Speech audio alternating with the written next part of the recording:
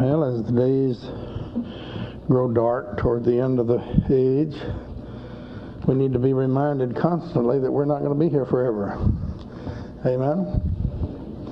If you're not glad about it, well, you'll get about it. Don't forget to be reading Battling the Host of Hell. We've asked everybody to try to go through that first book again.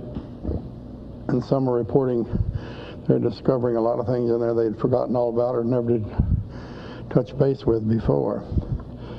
So let's hurry and finish through battling, then we'll start on conquering. That's the one that's full of testimonies. See how many testimonies, see how many people are left here. How many people are here who have testimonies in the books? One of the books, let's see. Yeah, there's still a few of them survived around here. All right, praise the Lord. Let's do this one.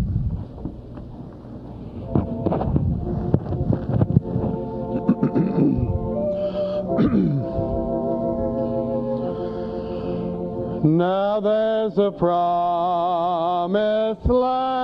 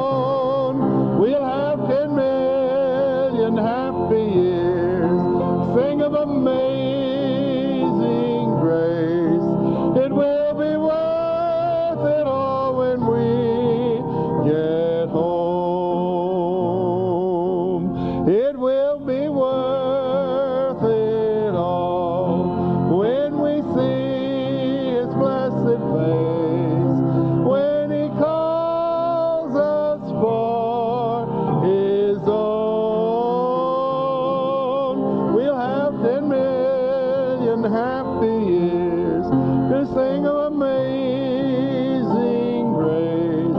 It will be worth it all when we get home. And I thought we were going to get by without saying, I love you, Lord Jesus, but I don't think so. Let's do it. Let's sing that one. The one that came from Indonesia. I love you,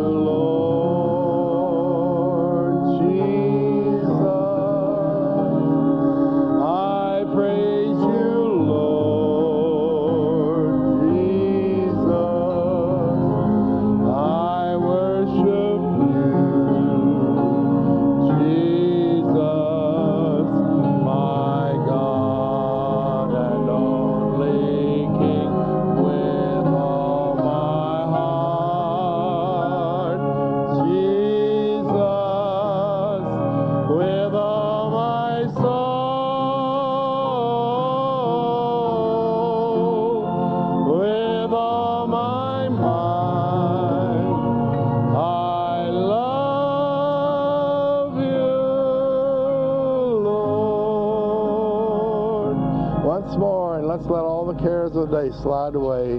Amen. Praise the Lord. Let's open our Bibles, please, to Luke chapter 9. Luke chapter 9. Look down to verse 46. You know, the disciples were very ordinary people. They were not super people at all. They were just ordinary people, ordinary human beings who met an extraordinary Savior. And they had their faults and failures, and they had a lot of rough spots to work out, just like you and I do. And in Luke chapter 9, verse 46, there arose a reasoning among them which one of them should be the greatest.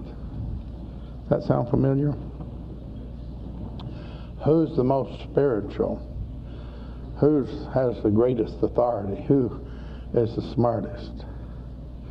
And Jesus, Jesus, perceiving the thought of their heart, took a child and set him by him. Now, I don't even know whether they were arguing about this necessarily. In another place they were arguing about it out loud. But he said he perceived their thinking. He knew they were sizing each other up well, I've got him beat. I mean, I'm better off than he is. Let me see. Well, I don't know that one. I have to watch him. He's coming along pretty well. I'll have to. You know, they were getting a striving spirit in them. And Jesus perceived the thought of their heart, and so he took a little fellow and set him by him, set him probably upon his knee. And he said to them, Whosoever shall receive this child in my name receiveth me. And whosoever shall receive me receiveth him that sent me. For he that is least among you all, the same shall be great. Now, he's telling them, isn't he? If you want to be great, what do you do? You take the least position. Did he get through to him? Not hardly. Here comes John. He said, Well, since we're discussing who's going to be the greatest, and uh, you know how do you get to be great? Uh, master we saw one over there casting out devils in thy name. And we forbade him because he followed not with us. We put a stop to that. We told him to stop that. He wasn't with that he wouldn't he didn't belong to our bunch. So he just cut that out. Now notice what he was doing. He was casting out demons in jesus name and he said we forbade him because he didn't. He's not in our bunch. He didn't. He didn't join our church. And so we forbade him. He's standing there smiling. You know, he's going to just praise the Lord. That's good, John. You put a stop to heresy right there. Yeah. That's what he expected. That's not what he got. Notice what Jesus answered. He said, Forbid him not, for he that is not against us is for us. And another rendering of this, I believe it says, Jesus said, Nobody can work a miracle in my name except God be with him. Did you know that casting out demons is a miracle ministry? When we first got into this, you know, we were throwing out demons by the hatfuls, then by the basketfuls, then by the truckloads. I mean, it seemed like the more we learned how to throw them out, the more hauled up and dumped at our door to be thrown out. And uh, we were just having a good time. And, you know, you'd see all these signs and advertisements about miracle campaign, miracle crusade, you know. And all these, so and so was coming to evangelize or to have supernatural wonders and signs and all this kind of stuff. You know, I thought, boy, that must be nice to have a miracle ministry, you know. Because we just cast, we get people saved, cast out demons over our place mostly. And uh, then I ran across that that no man can do a miracle in my name. And he was speaking specifically of casting out demons. We have a miracle ministry. But you know, we've been doing it for months and didn't even know it. Of course, that kept us from getting puffed up about it because by the time we found out about it, well, then it was kind of old hat. And we thought, oh, oh yeah. Well, isn't that nice? Praise the Lord. And uh, some of these folks that are always wanting a miracle ministry, well, we could introduce them, tell them how to do it easy, you know. They wouldn't have to wait and wait on the Lord for the anointing to flow. Or wait for some supercharged teacher to come through. They could just do what Jesus said and cast out demons. They'd be working miracles. Isn't it funny that people won't do it that way? They won't do it the other way. And came to pass when the time was come that he should be received up this is Jesus. He set his face steadfastly to go to Jerusalem. And he sent messengers before his face, and they went and entered into a village of the Samaritans to make ready for him. And the Samaritans didn't receive him because his face was as though he would go to Jerusalem. And when his disciples, James and John, saw this, James and John, you know, they're the sons of Zebedee, they're brothers. They also had the nickname the Sons of Thunder. And I pointed out to you several times, thought we better tie it down to the scripture so you didn't think I just made it up. Uh, they were the sons of thunder, and with good reason. Those boys were uh, pretty tough characters when, before they met Jesus. And we think about John, you know, the one who wrote the Gospel of John, 1st, 2nd, 3rd John, Revelation, and that's true, he did. But by the time we get a hold of him in the Gospels and so forth, the Lord's worked over, worked a great deal in his life. He was a son of thunder when he came. He could thunder almost as well as Peter could. And James wasn't far behind him. But here, the sons of thunder still got some thunder in them. And they were insulted. These Samaritans had the temerity to say they didn't want to have any meat and thank you. Just don't pack your pitch your tent here. We don't want you. And so James and uh, John decided they'd fix it up. And they came to Jesus and they said, Lord, wilt thou that we command fire to come down out of heaven and consume them, even as Elijah did? If you got a good Bible example, it's all right to do it, isn't it? Said, is it all right for us just to have fire come down and consume them like Elijah did? And uh, I don't remember the fire consuming people when Elijah called the fire down, did it? Not on the mountain, it didn't. It consumed the sacrifice. It's easy to get scriptures twisted, though, when you want to do something, isn't it? And uh, he turned and rebuked them. Now, here's zeal without knowledge. Boy, if there's a bunch of that running around loose today. Zeal with twisted scriptures. There's a barrel full of that running loose, too. He turned and rebuked them and said, You know not what manner of spirit you are of. they had some kind of a spirit in them. A religious spirit, a religious evil spirit that wanted to do good, do bad things in Jesus' name and call it good. Now that tribe hadn't died off. And he didn't say you're unbelievers. He just said you have an evil spirit in you. You don't even know what kind of spirit you are of. For the Son of Man has not come to destroy men's lives, but to save them. And they went to another village. He said, Don't worry about them, pass them by. You don't have to whip everybody you meet. You learned that yet? You know, sometimes you don't have to convince everybody you meet. Every once in a while, I run across somebody writes me a letter, and boy, they write me a they'll write me a ten-page letter. Now, Win Worley, I'll tell you one thing: I don't believe what you're saying. I don't believe what you're doing. Well, I hate to disillusion them, but I could care less whether they believe in it, whether they uh, like it or not. The Lord, they didn't tell me to do it, and it doesn't really affect me a great deal. I don't even know them from Adam's off ox. For all I know, they may be Satan's best spokesman. And I'm certainly not going to be upset about it. But I, you read on, and they say, I want you to answer me this question. I want you to write me this verse. I want you to analyze this verse. And uh, well, it would take me two weeks of Bible study to scratch out answers for things to write to them if I cared enough to answer their stupid questions. And most of them they could look up themselves, and the rest of them they could solve if they wanted to. And I know by experience you don't convince them anyway because they just come up with uh, another 11 pages.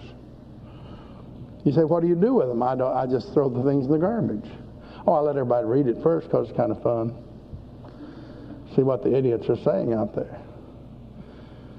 I mean, I don't know how they have such so much time. I had a long, I went over into Ohio and had a meeting, and pastor of a church over there wrote me a long letter, and he just demanded that I answer certain questions, and if I could answer them, then he would be glad to join the deliverance movement. And I thought, we don't want you. Who asked you to join in? I don't want you on our team. You have a bad, bad spirit. But he went on and on, castigating just about everything, and he knew absolutely nothing about demons or about deliverance. And I mean, the questions reveal how ignorant he was. And he demanded that I answer him. Well, first, I wasn't going to answer him at all. Then I got to thinking, well, he'll go around and say, he was afraid to answer. Well, he shouldn't have, I shouldn't have had that thought. So I dipped my typewriter in acid. And then I began to write. And I wrote and told him that in the first place I wasn't going to bother to address his questions because they were all in the scriptures. If he wanted to know, he could find out. I had no obligation to answer his questions at all. If he really wanted to know, there were ways to find out. I had written seven books on the subject. If he was interested in knowing what I thought, it was all written out. It's on tapes, scattered all over the country. And my viewpoints are there, and if you like them, okay. If you don't like them, they're still there. And I had no intention of writing him a book trying to convince him because it wasn't. I'd had no interest in convincing him. And before it was through, I put the britches on him. I told him that as far as Christians having a demon, he had some very dreadful demons, and he should seek the Lord about it, find out what they were, because they were keeping him from understanding and thereby keeping his people from being blessed. He didn't answer, but I hadn't heard any more out of him. Then I put a note on the bottom to send this to our mailing list in Ohio. We didn't, but he didn't know that. it was just a lovely thought, you know, to let everybody around him know what a kingpin he was. But Jesus just said, pass them by. When I first got into this, the Lord said, freely you have received, freely give. You'll go through the doors that I open. If the door is closed, don't worry about it. Then it's closed that I didn't want you to go through anyway. He said, the ones that I want you to go through, nobody can close. So that's why a lot of times you hear me announce I'm going someplace, and then all of a sudden you hear it's been canceled. And you say, well, gee, doesn't that make you discouraged? No, not really. Because God said I would go through the doors He opened, and if He didn't keep the doors open, I sure don't get in there and have the devil close it on me. You know, I'm pretty good size, get jammed in the door. And uh, so I'll just get, I'll just go in and out the doors that God opens, and let people understand or not understand. A lot of times people don't understand. They say, well, I don't know why Pastor Eddie's always traipsing around. Well, it's none of your business, first place. You didn't call me. But in case you're interested, the Lord told me to do it, and that's what I'm doing. If you hated traveling half as much as I would, you wouldn't go anywhere. But I travel simply because that's what God told me to do. And as long as God can use me to raise up workers, to encourage the workers that are already there, and that's what He's doing then I certainly go. As long as I can rattle the devil's cage by doing it. As long as it shakes the kingdom of darkness every time you go on a trip. I'll say hallelujah. I'll drag right along. And I'll be hobbling right on in there, devil. Just watch out because I'm coming through again. So you're going to have to have some people that are lay aside their feelings and what they want, what they'd rather do. See, I'd put aside my druthers. Did you say I'd rather do this and I'd rather do that? I'd rather do this and the other. That's an old Southern expression because you know it's spelled D-R-U-T-H-E-R, druther. I'd rather do this. Um, you won't find it in the dictionary. That's why I spelled it out for you. But uh, to lay aside your druthers, what you'd rather do, and do what God says. And you know, it's a funny thing. Once you begin to do that, you get to where you're actually enjoying doing what God likes, even better than you like what you were doing. I don't think that Jesus always absolutely enjoyed every little minute of everything he did, but he did everything the Father told him to do, didn't he? If this life were filled with nothing but rose petals and spraying cologne, we would never want to leave it. You know, we'd just cry and carry on if we had to leave. We'd want to stay here forever, wouldn't we? But it's got enough bumps and briars in it till we say, well, anytime you're ready, I'm ready, Lord. All right? So he says, You don't know what manner of spirit you are of. For the Son of Man is not come to destroy men's lives, but to save them. And they went on to another village. And that's what you're going to have to do when you're witnessing, when you're telling people about deliverance. Don't get upset when they won't receive it. Just walk off, say, just smile, say, okay. Let them stay in their ignorance. It's not going to do any good for you to get all upset about it. It's not necessarily because you didn't present it right, although you may have not done it right. It's not even necessarily a matter of timing, even though that might be, your timing might be off. But just go through the doors that God gives you and don't worry about the others. Our job is to share with those who want to hear and those who want to listen. Those who don't, let them go. Let them go and you'll save yourself a lot of grief and a lot of heartache and a lot of disappointment. Because if you try to persuade them, I've been in deliverance meetings when somebody, uh, some mother drugged some big old boy up to me, set him down in the deliverance chair, and he sat there. And uh, I said, uh, What do you need, son? Ask her, you know. I said, uh, Who are you? I'm his mother. He needs deliverance. Well, I could tell both of them did. but she was determined for him to have deliverance, and he was mad as a hornet. And he had to come down there because she made him come. I don't know how she threatened him into it, but she got him down there. And he was no more going to get any deliverance, than he's going to fly to heaven on a goose. no way are you going to coerce somebody into getting deliverance? I've seen women twist their husbands up and they march him up and set him down. Say, he needs deliverance. And then they give him that look that says, if you don't get deliverance, I'm going to hit you. And he looks back and says, just see if you can get me delivered. Well, I don't even fool with that kind.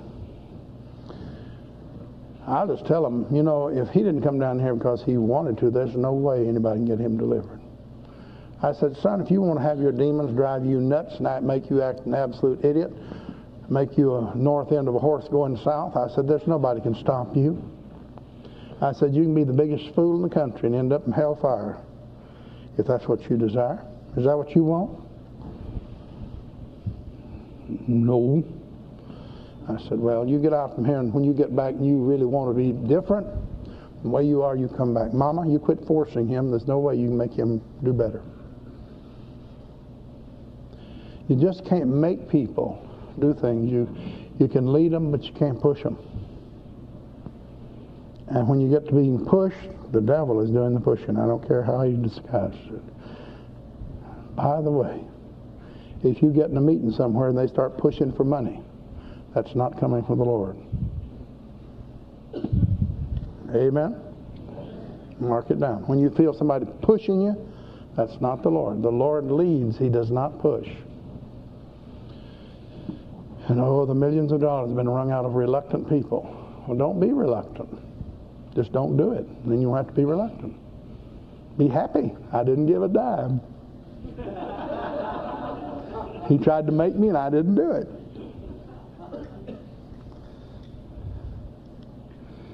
I told somebody one time in the church I had, I heard he was griping and belly aching because he'd put a put some money in, and I told him, I went to him, I said, look, if you're to gripe, I said, I'll give you a dollar back. How's that? I said, I wouldn't want you to go off and give and gripe this church. You end up griping and belly aching around because you gave some money to the church. You end up with an ulcer, and then they'll call me and say, come see Brother so-and-so. He's in the hospital with an ulcer. I said, well, he needs one. Anybody's that greedy and selfish, let him eat it up. He caused it himself. It's better to let people do what they're supposed to do because they want to. You see, God's people are supposed to be educated in the scriptures so they will want to do the right thing, so they will follow the Lord, so they will do the right thing. They're not supposed to be coerced and manipulated and forced into doing things. And the church is as bad as the world in trying to coerce people to make them do the right thing, or what the church perceives to be the right thing. I don't see it that way. You educate the people in the Bible, and then let the Lord lead them. And it came to pass, as they went that way, a certain man came to them and said, Lord, I'll follow thee whithersoever thou goest. Well, here's this is a refreshing change. Here comes somebody around and said, I want to follow you, Lord. I want to be a follower. Praise God, I'm joining up. I, I've got so excited about the miracles and the deliverance and the healings, and I just want to be a follower. And Jesus isn't, uh, he's not manipulating him, is he? Look at him. Foxes have holes, birds of the air have nests, but the Son of Man has not where to lay his head. That strange statement. That's no way to win followers. He should have said, I'm building a big uh, apartment complex over here for my followers, big office building to handle the publicity, and you can come and live one of the apartments, and we'll set you up as one of the assistants, and uh, we'll get you. Of course, we'll give you transportation, a special first-class donkey, and all of these things will come along to those who are following along. No, no. When I read this, I, I thought again about the Indonesians saying that when the offering, they started to take the offering in Indonesia, Derek Prince said, now don't tip the Lord. And how he said Jesus was a very rich man. I thought, well, it sure doesn't, he didn't talk about it much he was. Foxes have holes, birds have nests, the Son of Man has not where to lay his head. He said, I don't even have a place that's my own, a house of my own. And another one came to him, and, and uh, he, he came up to him, and he said, Follow me. He said, Well, Lord, allow me first to go and bury my father. Well, now, that doesn't sound too bad. Let me go to my daddy's funeral, and then I'll be glad. We've got to bury dad, and then and I'll be along to follow you. Jesus said, Let the dead bury their dead, but go thou and preach the kingdom of God. And somebody said, My word. You mean he couldn't take out, he go to his daddy's funeral? You don't understand what he meant. He meant, let me go home and stay home until daddy dies. And when I bury him, then I'll come and follow you. Oh. Yeah, his daddy wasn't dead. His daddy was alive and well. He said, let me go stay home with dad until he dies. As soon as he dies, then I'll be free to go. Then I can come and follow you. And Jesus said, Let the dead bury their dead. You go and preach the kingdom of God. Another said, Lord, I will follow thee, but let me first go and bid them farewell which are at home in my house. And Jesus said a strange thing No man having put his hand to the plow and looking back is fit for the kingdom of God. Well, why didn't he want to go home and tell everybody at home goodbye? Because he knew what happened. That young man would go back there, mom would pitch a fit. Oh, you mean you're just going out without anything? Oh. and daddy'd say, Is this what we raised you for? His aunts and uncles, his grandparents, they go into orbit over this. Oh, well, where are you going? I don't know. I'm just following him. Well, where are you going to be staying? I don't know. He doesn't have a house. Uh, where's your address? I don't know. You know what they do? They pull him back and make him do the sensible thing and stay home. So he said, don't even go home to say goodbye because they'll pull you back. Put your hand to the plow and you turn back, said you're not fit for the kingdom of God. He didn't say you wouldn't be in it. He just said you're not fit for it. I've seen a lot of those that put their hand to the plow and turn back. I remember when I was a young preacher in college, I had a preacher come out to my church to preach. He was a very good preacher. He was pastoring a church, and so he was a young married student. He came out, and we had a couple of real good meetings. The first two nights were very good. People were coming good. The church was getting a blessing. And that night, when we got back to the hotel, his wife called. And she was crying because she was lonesome. He'd been gone two whole nights. Bless her little pointed head. And uh, see, she was lonesome, and and and uh, why couldn't he come home? He spent about 30 minutes on the phone. And did you know that he packed up and went home and left that meeting? I had to finish the meeting. I thought to myself, buddy, you're through. You, that little lady of yours, has got lots to learn. If she thinks she's got to stay with you constantly, she's got another thought coming. And he really shocked me because I thought he had more sense than that. But he, his name was Mr. Doorknob, and his wife turned it anytime she wanted to.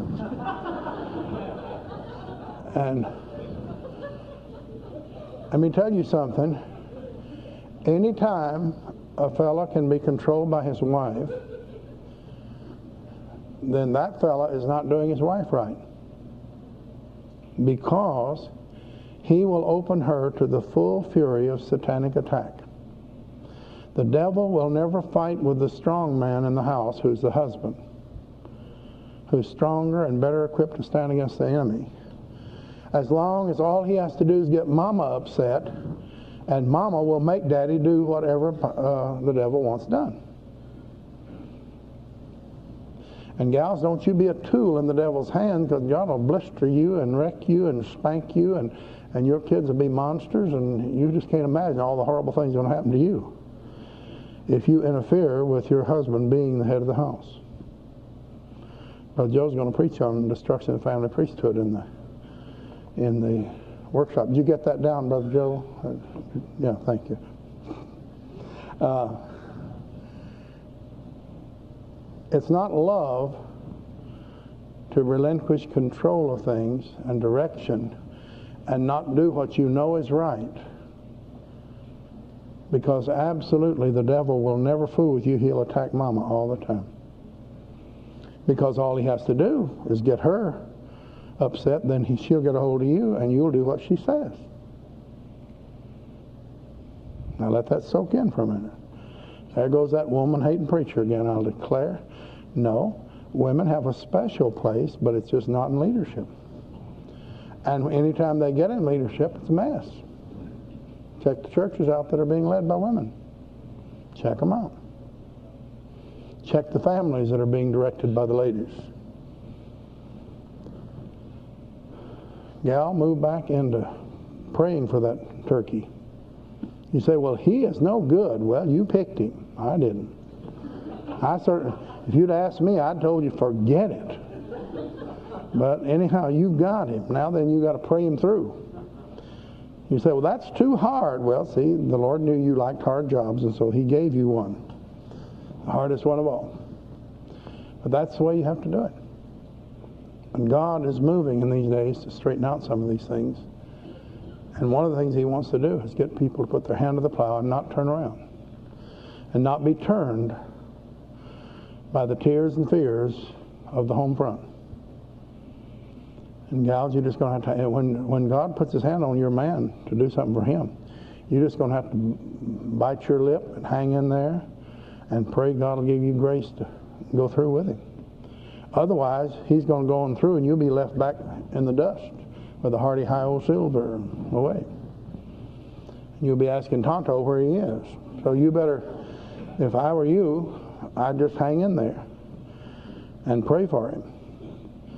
And if you want God to bless you and bless your family, you help your husband to be free to do what God tells him to do.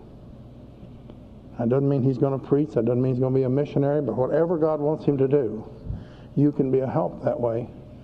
And you can be a real strength to him and a help if he knows you're backing him because you, you influence him a great deal. And uh, he doesn't need to fight a two-front war. He's going to have to fight it out in the business world. Don't you bring a war home for him to fight when he gets home. You ask the Lord to show you how to do it. He can do it. You say, well, our situation is different. It'll be more different than that if you don't follow God's precepts.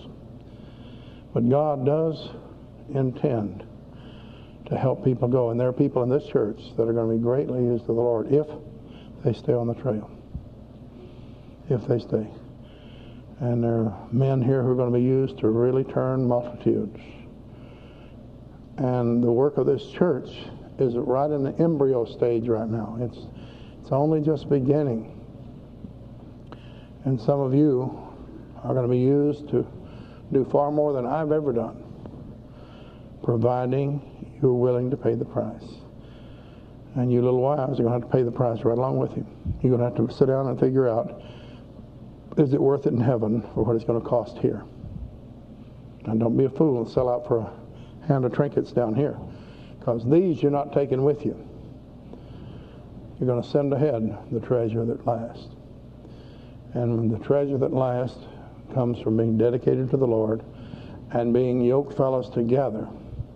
And every time you help your husband succeed spiritually, every time you help him preach, sing, or minister, or whatever he does, if you're backing him and praying, you get an even, you get a slice of whatever reward he gets. And why should you have to go out there and try to do it yourself? It's a lot easier to back him up. And on the other hand, every time you buck and pitch and snort and act ugly and make it hard for him to do what God says, you lose. And you get absolutely nothing. And whatever reward comes to him, you'll miss. And that'll be an eternal miss. That won't be a. You see, when you're dealing with God, you're dealing with eternal reward or eternal loss. And what you get, you keep for eternity. So I'd urge you to just reevaluate yourself and keep keep close tabs on yourself. Keep short counts with God and ask God to show you how. Get in the Bible, find out what God wants you to do, and then help do it, and then help your husband to do it as well. You're vital to the kingdom of God, vital to the ongoing of the kingdom of God. And uh, I don't know how we got way over there, but we did. Some of you looking pretty solemn, so I guess it did some good anyway. Now, if you've never asked Jesus in your heart, or you're not sure that you have, would you like to do it tonight? He said, Behold, I stand at the door and knock. If any man hear my voice and open the door, I'll come in. You've never asked him in your heart you're not sure, you could do it tonight. If you can't make sure where you are, come down to the front. Don't hesitate. Just come down and tell one of the fellows down in the front, I need to talk to somebody about salvation. They'll assign you a worker who'll do just exactly that. That's not your problem, but you're driven, harassed, tormented. This is producing compulsive behavior, which slows down, stops, and reverses spiritual growth and progress. What you need is deliverance. Jesus said, These signs shall follow them that believe. In my name shall they cast out devils, speak with new tongues, lay hands on the sick, they shall recover this church moves into a body ministry at this point, and the whole body will be involved in helping you get free. If you need freedom from evil spirits, they're equipped to do that. If you need the baptism in the Holy Spirit, that's available. If you need healing from uh, sickness or physical problems, that's available. Everything the family has to offer is spread tonight for whatever you have a need for. We're going to stand and sing something about that name. As we do, if you have a need, by all means come and let God minister to you through his people. Jesus, Jesus, Jesus.